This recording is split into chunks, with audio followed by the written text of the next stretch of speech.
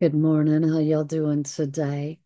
I wanted to come to you to talk to you about your spleen meridian, which governs our metabolism, our blood flow, our infections within our body, the inflammation within our body, and our beautiful immune system. The spleen meridian can get weak if you are vulnerable to illnesses, and that will make it very hard for you to actually heal. the spleen meridian oversees the body's ability to metabolize the energy and experiences the stressors that are nonstop these days within our life, our emotions, and our thoughts when your energy, let's say, is dropping down throughout the day, you can tap on your spleen meridian and it will bring your energy up. You may not notice it right away, but your body will. And the more you work with your energies of your body, the more beautiful your body will respond. So if you suffer from any type of blood imbalances, this will help. If you suffer from any autoimmune imbalances, this can help.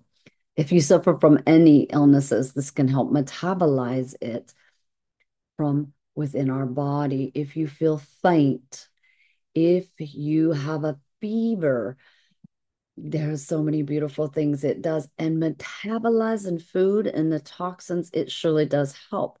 And it helps you regain control and to get centered.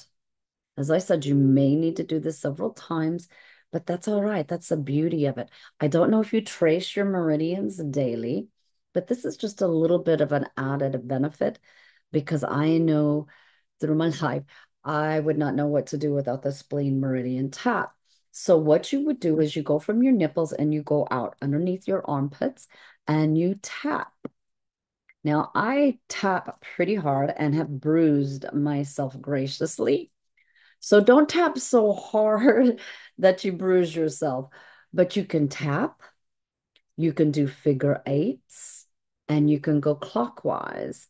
You can allow that energy to ingratiate your body to take a breath and be able to keep going.